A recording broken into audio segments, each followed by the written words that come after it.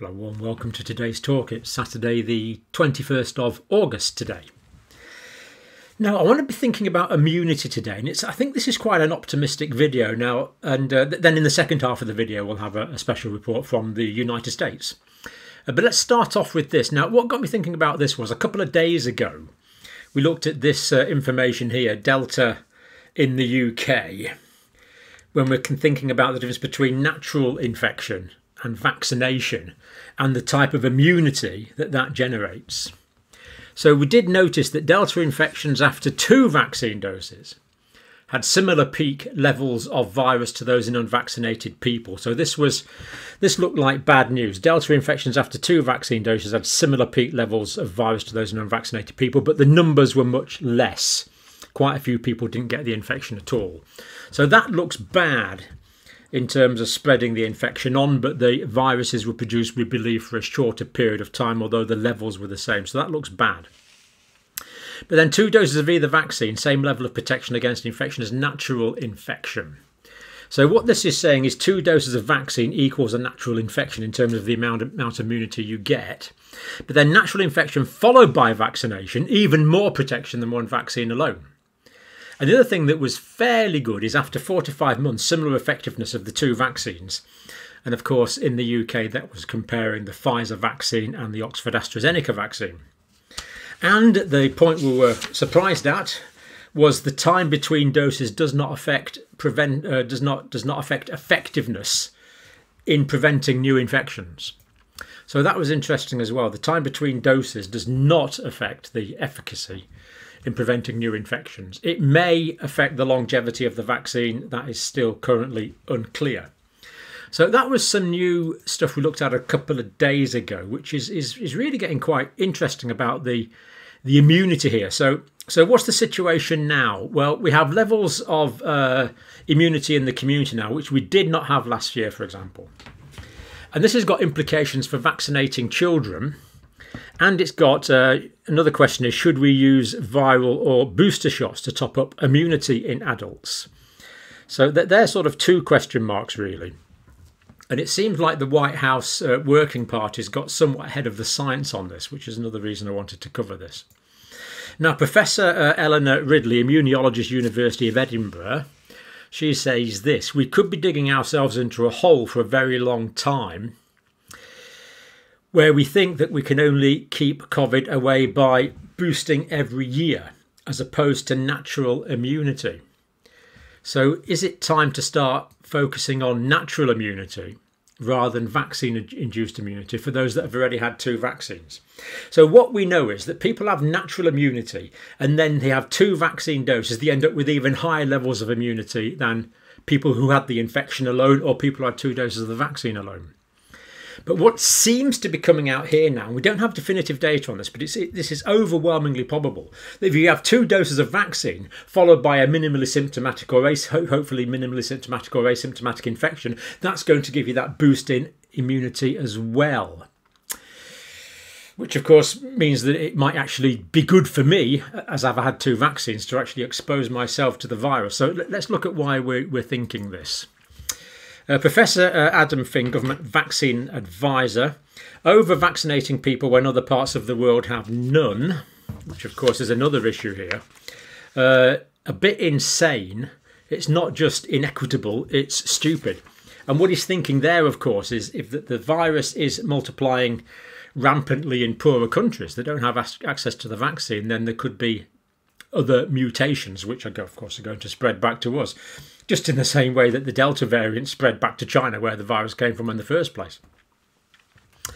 Um, so, so this is from this uh, Nature article here. SARS coronavirus 2 belongs to the beta coronavirus family, we know. It's the seventh known coronavirus to infect humans. That's all. There's only been, it's only the seventh.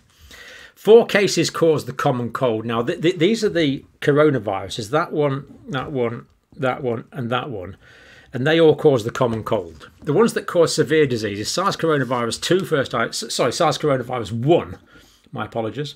SARS coronavirus 1 or what's just SARS, what's just called SARS coronavirus, identified in 2002 to the 2003 uh, outbreak. Middle East respiratory syndrome from camels, first identified in 2012, and then the one we now have, the 2019 first identified virus. So they're the only seven we have, and of course we have virtually no outbreaks of that now. Well, we do have some outbreaks, but it doesn't spread. Some some direct transmission from camels, and this one's been eradicated, so that is optimistic. These are circulating but cause minimally symptomatic disease. They cause common colds basically. Now, SARS coronavirus 2, just a little bit of biology. It's a single stranded RNA envelope virus, which we know. The entire genome, in other words, the number of genetic letters in its code, is 29,881. Now, this is opposed to about 3.1 billion letters in use. So, in some ways, it's a very simple structure. Uh, and that encodes for 9,860 amino acids, but of that, only 28 proteins are essential for infection.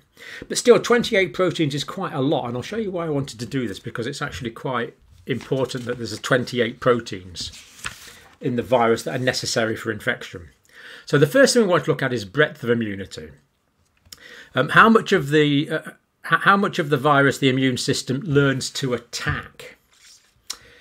Because natural infection is going to be much more polyclonal. So if you've had the Moderna, Moderna or the Pfizer or the Oxford AstraZeneca vaccine, that's just attacking the spike proteins, basically one one protein.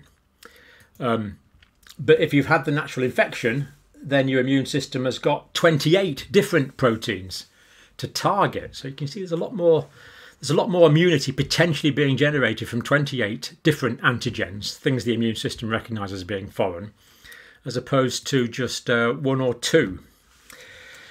Uh, the vaccines do keep people out of hospital, which is good because the spike protein is the part that actually gets into infect cells. But 28 proteins recognise give the lymphocytes. Uh, now, I've made this up a target rich environment. So, this is what we call the B cells, the B lymphocytes, and the T lymphocytes. And you remember that the B lymphocytes make the antibodies, and the T lymphocytes stimulate the B cells to make the antibodies, and also we get these T cells that kill infected cells called T cytotoxic, which are probably the main actual immune component fighting this virus. So, if we have the vaccine, the B cells and the T cells can learn to recognize the spike protein by artificially giving the spike protein. If we actually have the infection, 28 proteins will learn to be recognized by these cells. Therefore, these cells can attack all 28. And this explains why people that have had the natural infection followed by two vaccines are even more immune, and therefore why I believe that two vaccines followed by the natural infection, the other way around, will, will make us more immune. So um, it takes on to some quite interesting areas of thought, this really. Professor Eleanor Riley, immunologist, University of Edinburgh. That means you've had a real humdinger of an infection. interesting medical term, but that, we know what she means. You may have better immunity to any new variants that pop up as you've immunity to more than just the spike. So a lot of the a lot of the mutations that have occurred so far have been in the spike protein that's caused the virus to spread more. But of course, the virus is vulnerable to attack by the immune system any one of the 28 other proteins. So the natural infection could well boost the immune system really quite significantly. And because if there's a, a mutation in the spike protein, but the uh, the immune system learns to attack all the other proteins, then the, the immune system can kill still kill the virus via the 27 other proteins. So um, that's one point: breadth of immunity. Um, breadth of immunity definitely better after natural uh, infection. No debate about that at the moment. Uh, strength of immunity, the power to prevent infections and cause serious disease, is another factor. And we know that the vaccines are actually doing quite well on that. But there again, we know that people have had the natural infection plus two vaccines do even better on that. So I am postulating or believe at the moment that two vaccines followed by the natural infection will probably have the same effect. Interesting. Uh, in the case of breakthrough infection, so breakthrough infection from the vaccines or reinfection if someone's had the natural viral infection already, uh, asymptomatic people get low levels of antibodies. Symptomatic people or ill get high levels of antibodies. So, here in the people that are asymptomatic, it's as if the immune system doesn't need to bother making more antibodies, presumably because the body's got rid of the virus with the B and the T cells. It doesn't need to produce the antibodies, it can already do that. And it's only people that are symptomatic or ill that have to go to all the bother of making the large number of antibodies to get rid of it, because of course antibodies is only one component of the immune system. Next one is duration, longevity of immunity. Now, this paper here, naturally enhanced neutralization uh, breadth against SARS coronavirus 2, one year after infection. now, this is this paper here. So do check that out for yourself. Now, um, natural infection, if someone's had natural infection and no vaccination, antibodies to the receptor binding domain are active after a year. So they still have active antibodies after a year.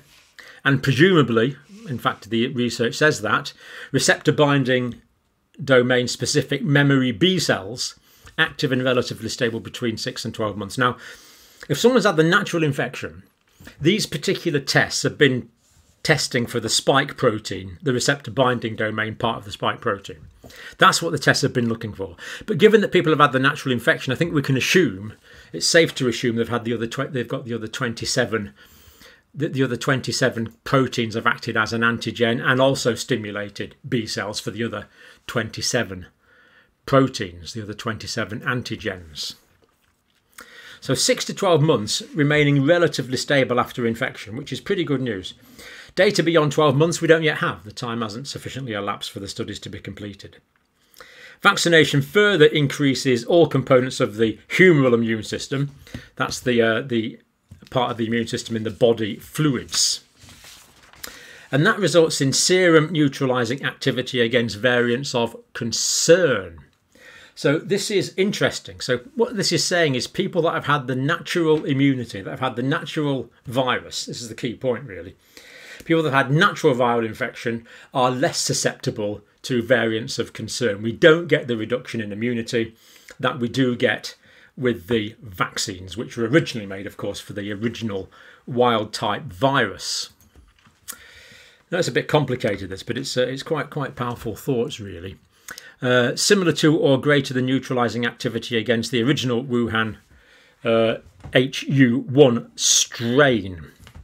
So what this is saying is people that have made their own people that have made their own immune response by being exposed to the virus, their level of immunity against the new variants is basically as good as it was to the original virus. Whereas with the vaccines, we know the immunity is not as good as it was to the original virus for which the vaccines were designed to combat.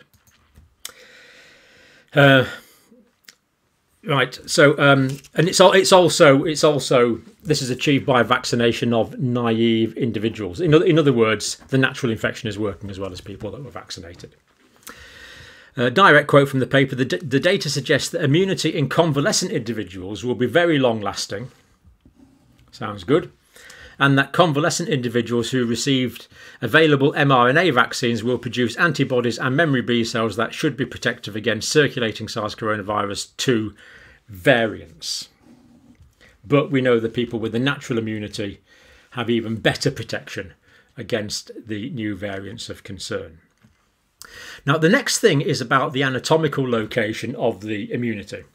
So basically, the, the immunity comes from two parts of the body. So there's what we call immunoglobulin type A's that are in the nose and the mouth and the throat in the mucous membranes in the mucus. They're immunoglobulin type A's, and the immunoglobulin type M and G's they're in the blood. They're in the blood. So that actually makes a bit of a difference. So mu mucous membranes for immunoglobulin type A's and immunoglobulin M's that are made first, and the longer lasting immunoglobulin G's are in the blood. So that's interesting because what this means is that this kind of explains why people who've been doubly vaccinated usually get common cold type symptoms. Because the vaccine, of course, is going into the body fluid, so it's going into the blood, so you make the IgMs and the IgGs. But as far as we know, the vaccine doesn't make us make the immunoglobulin type A's that go into the mucous membrane. So what that means, if someone is exposed to the virus, the mucous membrane is vulnerable to infection, and we can get the headache, the the uh, runny, runny nose, and the sore throat.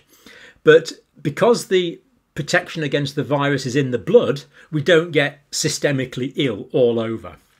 So that's another important point of the way this is working, and it explains really quite perfectly, actually. It really explains quite perfectly why people just get common cold type symptoms after vaccine, and the majority of them don't get ill. So, um, professor from uh, University of Oxford, um, Paul, Paul uh, Klenerman from Oxford. Location of an infection makes a difference, even if it's the same virus. So this is in agreement with what we've just said. So we would expect, so we would expect important differences between natural infection and vaccines, because of course the natural infections will produce the immunoglobulin A in the mucous membranes, whereas the vaccine won't. So, current questions. Do vaccinated adult, uh, adults need to need to be boosted, or is exposure to the virus enough? Or you could rephrase this by saying, is natural exposure to the virus after vaccination significantly preferable to an extra booster dose of vaccine because they're going to get this more polyclonal response, including the protection of the mucous membranes? Uh, I think the answer to that is probably yes at the moment. Do children need vaccination at all? Or does a lifetime of ongoing exposure to the virus build up good immune defence? Well, we, we know that exposure to virus builds up a good response. Because we get immune top ups that occur with respiratory syncytial virus, for example, rhinoviruses, common cold virus, and other coronaviruses. So, exposure to the ongoing exposure to the virus is going to give ongoing generation of immunity. Now, I'll just illustrate this with a story from the, the way that vaccines were discovered. So, Edward Jenner inoculated an eight year old boy, I think it was, James Phipps, and he inoculated him, and I'm using the term inoculation correctly there. He inoculated him with uh, cowpox pus, and he put it into his arm and he rubbed it in. So, you would expect that that gave James immunity to cowpox, and we believe it did. But then what Edward Jenner did after about six weeks was he exposed James Phipps not to cowpox but to smallpox. And to everyone's delight and I'm sure James and his family's relief, he did not get smallpox. So this the cowpox had this cross immunity to to uh, smallpox, which is just brilliant because smallpox is a devastating disease. And then about a year after, Edward Jenner exposed James to uh, smallpox again. And then a year or two after that, he exposed him again. Then a year or two after that, he exposed him again. So he exposed him quite a few times throughout, I think it was about a 20 year period. And from that, Edward Jenner thought that the exposure to the original cowpox was having this long lasting immune effect.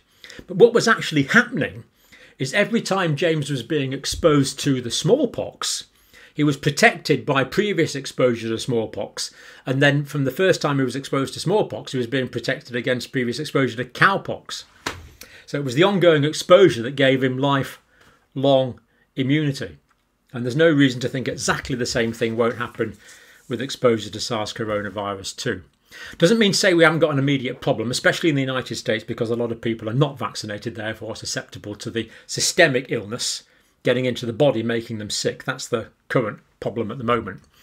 But long term, I can actually feel a bit of optimism emerging as I'm saying this. Actually, it's um, Professor Adam Finn, government vaccine advisor. This isn't proven, but it could be a lot cheaper and simpler to, to let that happen than spend the whole time immunising people with vaccines. We could end up locked into a, a cycle of boosting without seeing if it was necessary. Because what I've said is it probably will not be necessary. So the regulatory authorities in the States and the regulatory authorities in the UK have not yet said we're going to need booster doses. This is the politicians that seem to be saying this, which is, to be quite honest, is a bit disappointing that politicians are jumping the gun. In children, the argument has already been won, according to Professor Finn. Uh, so basically, Professor Finn here is saying that children under the age of 12 do not need vaccinated 40 to 50, 40 to 50% have already been infected and most weren't ill or particularly ill. And because they've had the natural infection, especially if they get the natural infection, then they get the natural infection again, we would expect their level of immunity to be higher. And very often the children are asymptomatic on the first time, and there will be you would expect a much higher proportion of the children to be asymptomatic if they were re-exposed as these viruses are constantly circulating as the other four coronaviruses do as rhinoviruses do, as respiratory syncytial viruses do, and probably 10,000 other viruses that we've never heard of. Final word to Professor Eleanor Riley, immunologist, University of Edinburgh. Using vaccines to take the edge off COVID is a good idea, followed by infection. Followed by infection.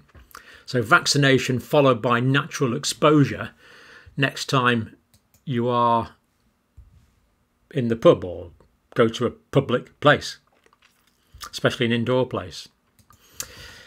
Uh, to, and that will broaden the immune response. It will be a more polyclonal immune response. You will generate immunity to all 28 of the virus proteins that are necessary for infection, not just one or two of them. We really need to consider are we justified in, uh, are, are we just frightening people rather than giving them the confidence to get on with their lives? We're close to just worrying people now direct quote from Professor uh, Eleanor Riley. Riley. So there we go. Um, now, provisos here. People that uh, are immunocompromised might need three, four, five shots of the vaccine before they generate an immune response. But it may well be that government regulatory bodies decide that for most of us, a third dose of the vaccine is not necessary because we are going to be naturally exposed during the time period this virus is endemic. And from what we've said, we've got good scientific reasons to believe that will give us a higher quality of immunity and potentially a longer lived quality of immunity. So, can't make any recommendations now. We wait for the FDA, the CDC, the British European regulatory authorities to make a decision on this, but I'm pretty sure from consideration of those points in the science, that is the way they are going to go for most of us, I strongly suspect, which of course is remarkably, remarkably good news because we're going to have long term immunity boosted by a few years exposures to the virus over the next season or two or three or four. So I think that's the way this pandemic's going to go, and I think that's optimistic. What we'd really like to do, of course, is get everyone in the world to have two doses of vaccines so that everyone will gain the benefit of getting natural exposure to the virus while covered, while, it, while co- having immune cover uh, from, from the original uh, from their vaccination. This is what we call active on passive immunity, well, active on active immunity. So you generate active immunity really with the vaccine.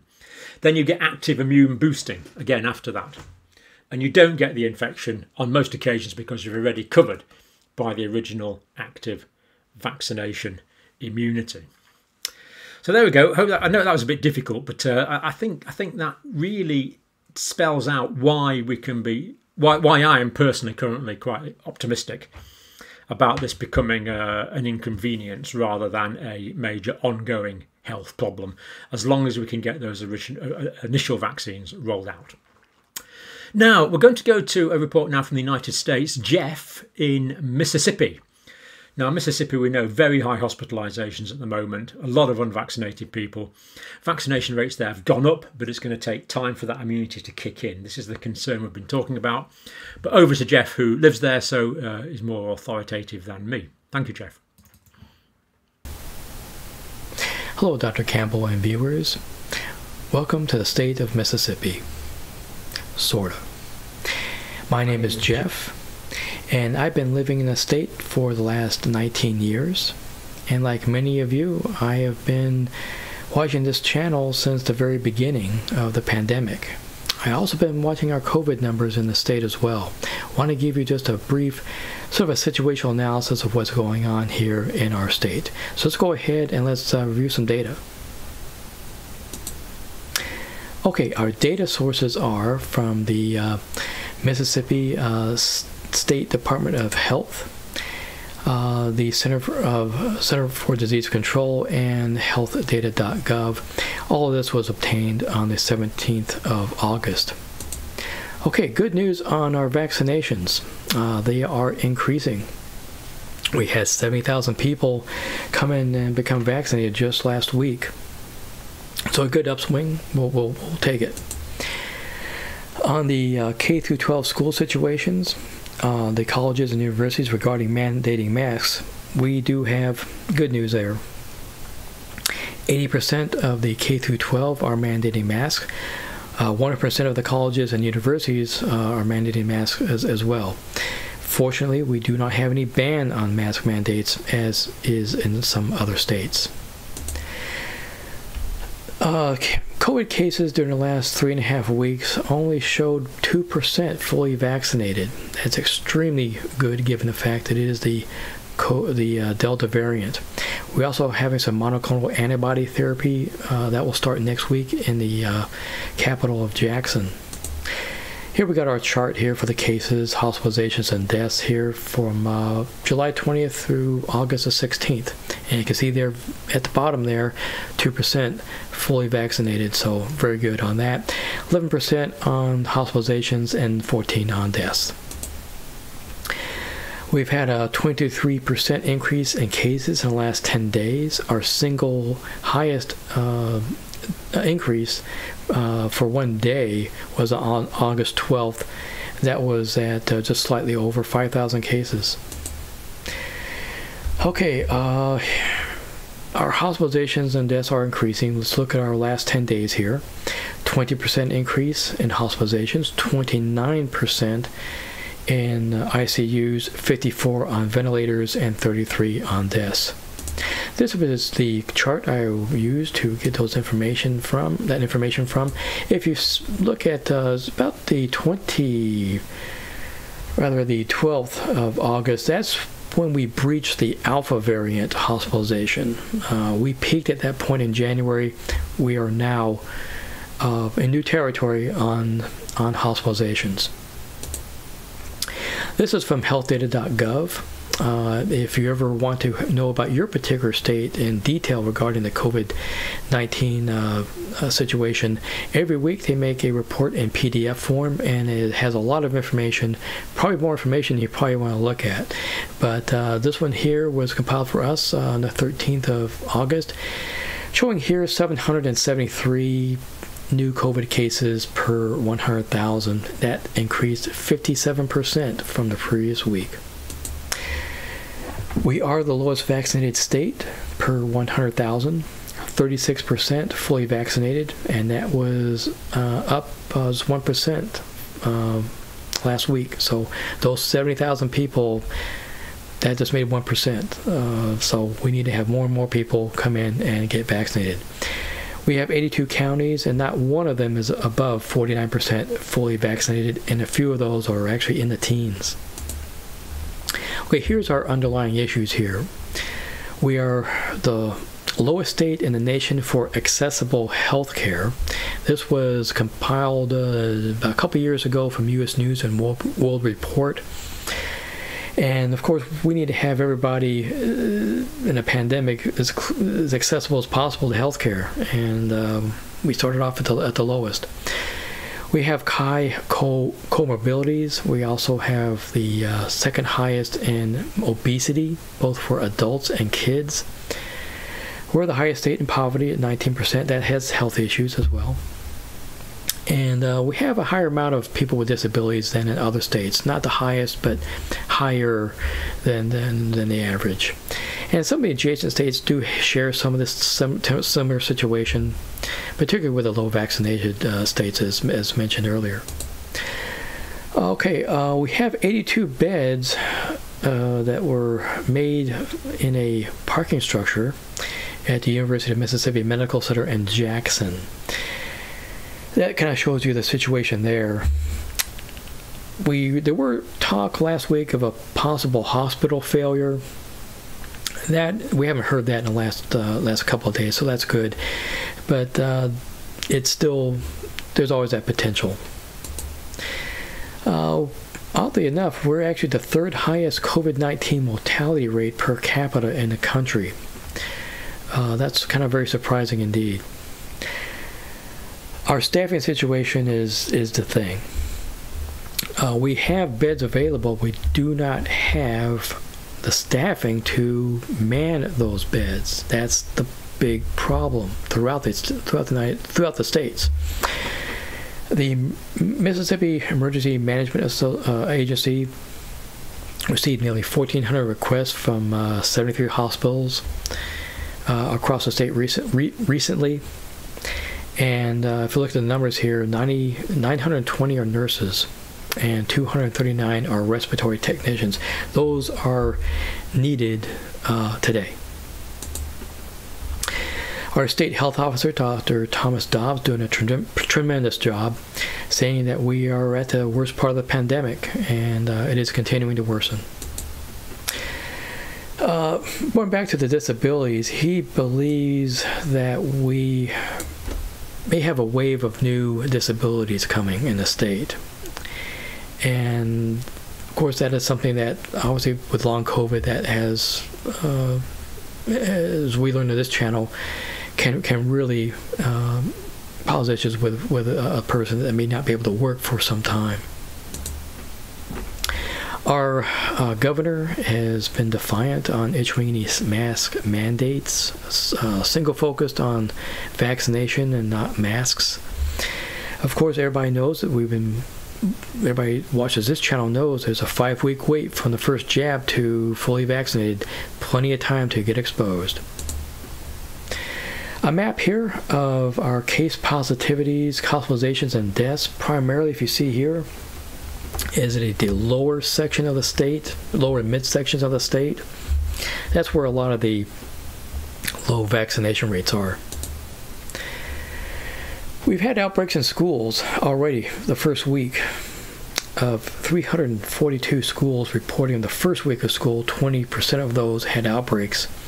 Second week, which is the majority of the schools that open, 35%.